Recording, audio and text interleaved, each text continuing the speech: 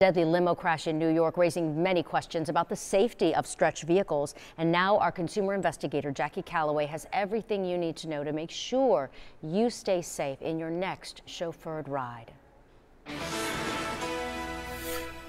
20 people dead after a limo crash in New York.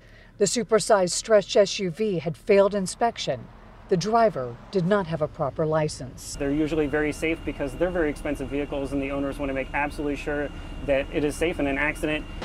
In Hillsborough, limos must pass a mechanical inspection.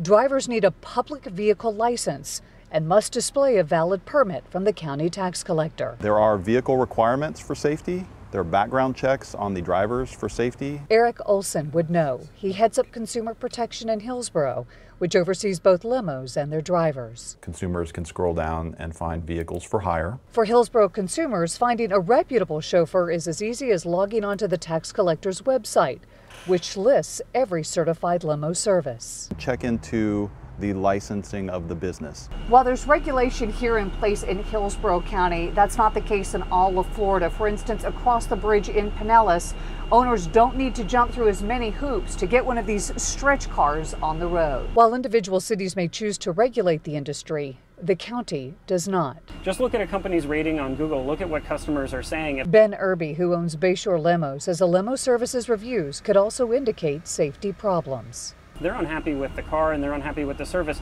chances are you're getting into a vehicle that's not top notch as well. Before the New York crash, at least one of the victims complained about the condition and loud noise coming from the limo, built from a 2001 Ford Excursion. A 17 year old car that's operated on a, on a shoestring budget, I'm sure it had horrible rust issues. Irby also advises people to look over the vehicle before getting inside. Just glance at the tires on the car, make sure they have a little bit of tread on them. Look at the body of the car. Does it seem like it has a lot of damage? If the answer is yes, then chances are the owner isn't maintaining the engine either.